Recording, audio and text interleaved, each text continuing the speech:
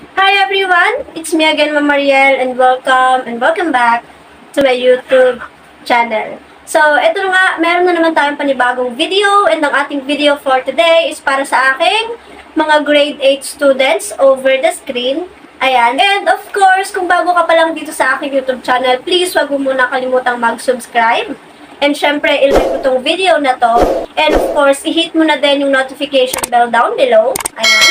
Para syempre, palagi kang updated whenever na magpo-post ako ng mga tutorials um, dito sa YouTube. And of course, please consider also following me on my social media accounts in here. Ayan. Para syempre, if ever lang naman gusto nyong maging updated sa mga ina-upload kong math tutorials. So, ayun lang. Um, without further ado, without any daldal, ang daldal ni ma'am. Tara na, simulan na natin ang pag-aaral right after the intro.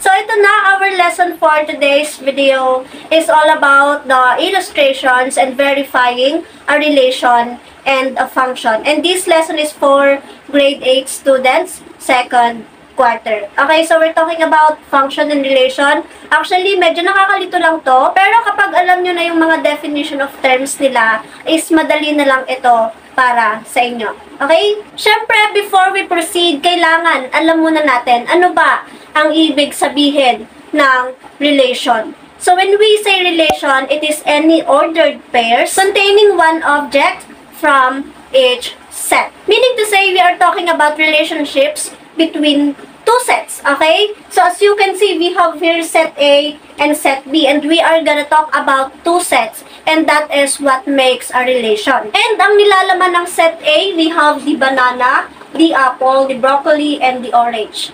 Now, saang sets ba sila kabilang? Which is the set B, the fruits, and vegetables. So, ang tawag dito is a mapping. Okay? And when we say mapping, pinapakita natin yung relationship between two sets. And ito, palagi nating tatandaan mga bunso, set A is always be the domain, while set B is the range. Okay? Ang domain kung saan nag-start yung arrow, and then yung range kung saan nag-end yung arrow or kung saan pupunta. Lahat ng elements na to and lahat ng elements na yon is the domain and the range. Palagi niyo yung tatandaan. So, kagaya nga ng sinasabi ko, we have the banana and banana is considered as fruits, apple considered as fruits, broccoli as vegetables, orange as fruits. No? So, that is the explanation all about the relation. Another example is the spoon, fork, plates, they are all in the kitchen. So, kung ilalagay natin siya in mappings, pwede niyong ilagay dito yung spoon, fork, plate, tapos doon kitchen. ba? And meron pa, marami, marami tayong relationships na um, yun yung tawag sa kanila. For example, um, the bed, yung unan, ba? Yung kumot, they are all from the bedrooms, 'di ba? So those are examples of a relation. Simply, um, we are talking about a relationship between sets. Okay? Set of things in a kitchen and set of things in a bedroom. And under that is yung mga binanggit natin kanina na mga bagay. So, ganun lang kasimple si relation. And ito pa mga bunso, palagi niyong tatandaan na ang relations can be expressed in so many ways like pa-ordered pairs, pag-graphing, mapping, like this one, table, and equations. So, meron, lahat ng relations, pwede mo siyang isulat sa mga ganon na ways. And ito nga pinapakita ko sa inyo is uh, the mapping. Okay? And of course, we have the classification of relation. And those are one to one, many to one, and one to many. And we're gonna talk about first the classification of relation. And we have here one to one. Remember, ang tawag sa mga nilalaman nito from the domain is the elements. And dito, from the range is also elements. Ibig sabihin, ang elements yun yung nilalaman ng bawat map. Okay? Or bawat um, set na meron tayo. And now, when we say a one-to-one, it means that every elements um, in the domain Okay, lahat daw ng elements na nasa domain should have a unique element in the range. What does it mean? Meaning to say, from the word itself, one to one, bawat isang element dito is nakamap lang sa bawat isang element din na nasa range. Okay? Ganyan yung itsura niya. As you can see, itong 1, ang kapartner niya is 4. 1 and 4. This is what we call an ordered pair. 1, 4. We also have 2, 5. Ayan. And 3, 6. Remember the ordered pair? Kaya, kaya nga ang relation, pwede din siya sa graph, like sa rectangular coordinate system, kasi it means a point, di ba? Uh, meaning to say, pwede tayong mag-graph through a relation or function. Okay? So that is an ordered pair from 1 to 1. Dapat ay walang magkatulad na value dito sa kanilang domain and wala ding magkakatulad na value sa range. As you can see, ang domain ay 1, 2, 3 and the range are 4, 5, 6. So, walang magkakatulad na value na in the same position. Okay, that is a 1 to 1. Now, we have the many to 1. As you can see, itong si 1 na element natin dito from the set A, siya ay kapartner niya si 4. Nakamap siya kay 4. Itong 2, nakamap din siya kay 4. Si 3, nakamap din kay 4. Meaning to say, we have many elements dito or two or more elements are mapped to only one element in the range. Okay? From the word itself, many to one. Okay? Basta may nakita kayo na ganon, na style, that is a many to one. And the ordered pairs are 1, 4. We also have 2, 4. Ayan, napapansin nyo? Magkakagaya na yung kanilang um, range nung nilagay natin siya sa element. We also have 3, 4. Ayan. Kaya siya tinawag na many to one. Isa lang yung nakamap from the range. Okay? And madami siya from the domain. Now, let's move on to one to many. Kabaliktaran lang to ni many to one. One to many, we have each element in the domain is mapped to any two or more elements in the range. Meaning to say, meron tayo ditong elements na nakamap to the two elements from the range. For example, itong si 1, nakamap siya kay 4 and 5. Diba? That is 1 to many kasi marami siya sa kabila. Okay? So, the ordered first are 1, 4. We also have 1 and 5. Ayan. As you can see, mayroon siyang magkagaya dito sa ating domain. Remember, the domain is the first set or the X. Diba? Sa ordered pairs natin, we have X and Y. Lahat ng nasa X, those are the domain. Lahat ng nasa Y, those are the range. Okay, palagi niyang tandaan. We also have 2 and 6. 2 and 6. And 3, 0. Kasi wala siyang map doon. Diba? As you can see, meron ditong nagdoble. Ayan, kaya yan ay 1 to many. And ganun lang siya kasimple. Now, we have already learned about the definition of the relation and the qualifications of a relations. Now, we're gonna talk about a function. Ngayon, ano naman daw ang function? A function is a special type of a relation. Therefore, a function is under the relation. Okay, kaya nga meron tayong sinasabi na lahat ng function ay relation, pero hindi lahat ng relation ay function. Okay, now we're gonna identify in these three classifications kung alin ba dito ang functions. Okay? And meron pa palang isa yung many to many. Many to many means madami na kumbaga ay combination na siya ng mga many to one tsaka one to many. And ilalagay ko na lang dito yung example ng many to many na relation. Okay, um, when we say function, it is a relation where no element in the domain are mapped or paired to more than one element in the range. So, the best example of a function is the one-to-one. -one. Ito, the best example na to. Kasi as you can see, ang kanyang domain ay nakamap lang to only one element in the range. As you can see, si 1, nakamap lang siya sa 4, and hindi siya nakamap sa 5. Hindi din siya nakamap kay 6 or naka-pair. Diba? Si 2, nasa 5 lang siya, hindi siya nakamap kay 4, hindi siya nakamap kay 5, nakamap kay 6. Okay? And also si 3. Meaning to say, um, walang element sa domain ang nakamap to two or more elements sa range or naka-pair. When we say map, um, we're talking about pairing, okay? Or pagpapares, ganon. Many to one is also a function. Bakit siya function? Kasi as you can see, si 1, nakamap siya kay 4. Si 2, nakamap din siya kay 4. Si 3, nakamap din siya kay 4.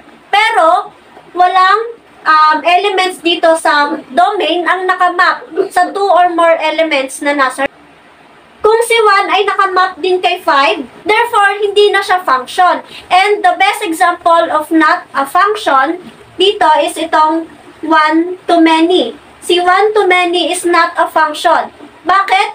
Kasi as you can see, merong element dito sa uh, domain na nakapair sa madaming elements dito sa range. As you can see, itong 1. Nakapair siya kay 4. Nakapair din siya kay 5. Therefore, this is not a function.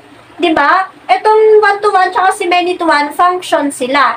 Kasi walang ni isang nakapair sa dalawa or more elements in the range. And that is the simplified explanation all about the functions. Okay, as you can see, itong ating mga ordered pairs, tingnan niyo yung mga value ng x. 1, 2, 3. Di ba wala silang magkakatulad na value? Therefore, that is a function. Okay?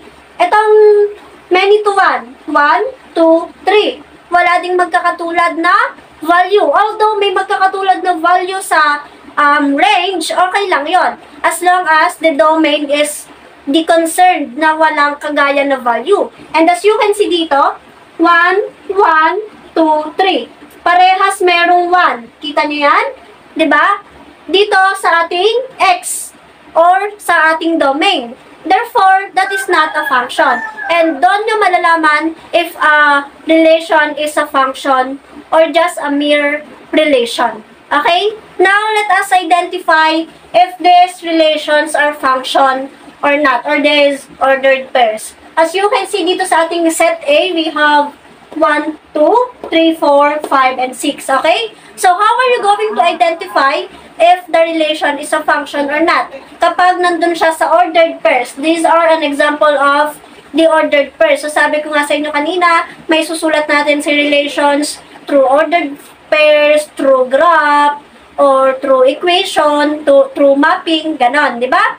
Now, let us identify if set A is a function or not. The set of ordered pairs are said to be a function if there is no element or distinct element, walang magkatulad na element in their abscissas. And when we say abscissas, ito yung ating mga first element.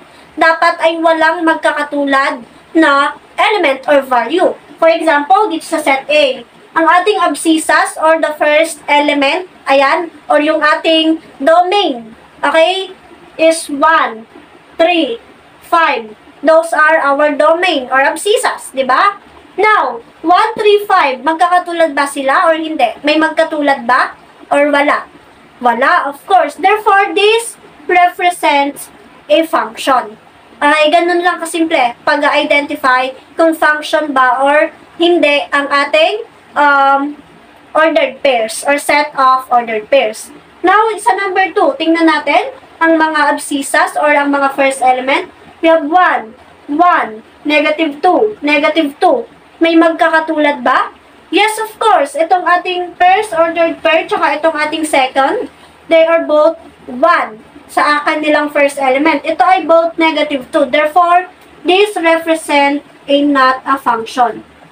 Okay, ganun lang kasimple. How about number 3? We have 0, 3, 1, 4, 2, negative 3, 3, and negative 4. 0, 1, 2, 3. Meron bang nagkatulad? Wala, di ba? Therefore, this also represent a function. Ay, ganun lang kasimple. Ngayon, paano naman daw natin malalaman kung ang relation ay function when it comes to graph? Remember, um, nag-discuss na natin yung sa mapping or sa group or yung ordered pair, ngayon naman sa graph, what are you going to do para malaman if that is a function or not is to do the vertical line test. What does the vertical line test mean? It means to say that um, in every vertical line na dinrawing mo sa kanilang graph or sa graph na meron ka, if that vertical line intersects not more than one, not more than one, therefore, kapag daw nag-intersect yung vertical line nang hindi lalagpas ng isa sa point na meron dito, therefore, that represents a function. For example, we have here graph A, ayan, let's identify if this is a function or not. Magdo-drawing lang tayo ng vertical line. Ano ba pag sinabing nating vertical line? Linya na nakaganyan, nakatayo. Okay? And then, mag-draw tayo ng vertical line. Ayan. Ito yung nakagraph na relation. Okay? Ayan. Kita niyo yan? And then, nag-intersect lang siya sa isang point. Okay? Isang point lang. Therefore, this represents a function. Kasi dapat hindi siya mag-intersect in more than one. And since isa lang talaga to, therefore that is a function. Okay? Now, let's um, identify if this one is a function or not through vertical line test. Mag-draw tayo ng vertical line. Ayan. And as you can see, meron tayo ditong 1, 2, 3. This intersects to 3 points. Tama? Yan, 1, 2, 3. Therefore, this um, graph is not a function. Or it is just a mere relation in the form of a graph. Okay, ganun lang kasimple. Basta, tandaan nyo lang kapag ka, um, hindi nag-intersect ang vertical line um, to two or more, therefore, that is a function. Dapat sa isa lang na point siya mag intersect Kahit pa ilipat natin yan dito, ilipat mo dito, isa lang yung madadaanan yan. Ito, kahit ilipat mo yan dito, tatlo pa din yung madadaanan yan. Ayan, tatlo. One, two, three. ba? Diba? So, ganun lang kasimple ang paggamit ng vertical line test when it comes to identifying if a relation is a function or not. So, definitely, that is all for this video. Thank you so much everyone for watching and medyo dumidilim na. Tapos natin yung mapping, yung ordered pairs, tsaka yung graph. Okay? Sa equation naman tayo sa next nating lesson, all about this one. Okay, so palagi lang kayong mag-abang ng up update natin dito sa ating YouTube channel and of course sa aking mga social media accounts. Uh, okay, ganun lang kasimple mga bunso. Sana ay may natutunan kayo dito sa aking video all about a function and the relation. And yun lang nga, kung may mga request kayo ng mga math topics, you can always comment it down sa ating comment section and nagbabasa po ako. Okay, so always remember to make your day productive by gaining knowledge. Again, this is me, Mama Mariel, and see you on my next video. God bless everyone.